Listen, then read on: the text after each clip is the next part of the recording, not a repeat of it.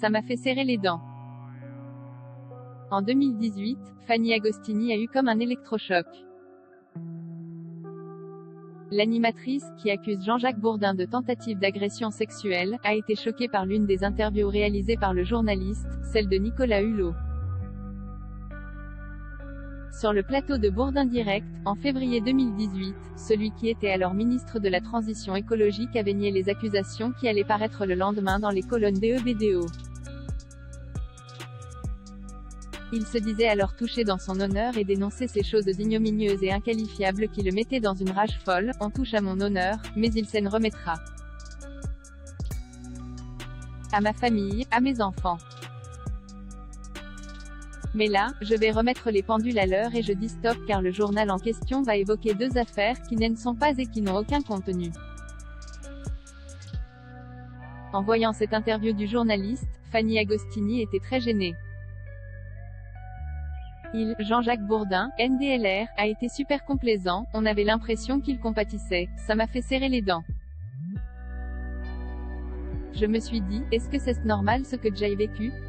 Est-ce que les femmes doivent supporter ça confie-t-elle dans les colonnes de Mediapart, ce lundi 14 février? En janvier dernier, Fanny Agostini a décidé de porter plainte contre Jean-Jacques Bourdin, qu'elle accuse d'avoir tenté de l'embrasser de force en octobre 2013 à Calvi, en Haute-Corse. Il s'est mis à nager parallèlement à moi, tout en commençant à me faire des compliments, me dire que j'avais changé, qu'il ne me voyait pas comme ça. J'étais hyper mal à l'aise, l'estomac serré, a-t-elle expliqué à Mediapart.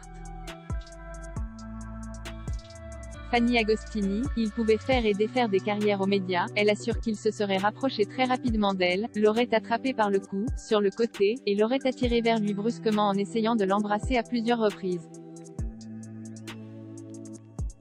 Durant les années des après, Jean-Jacques Bourdin aurait eu un comportement déplacé à plusieurs reprises avec elle. À plusieurs reprises, Jean-Jacques lui a demandé quand ils allaient dîner ensemble, quand ils allaient se retrouver après le boulot, lui a glissé des petits papiers.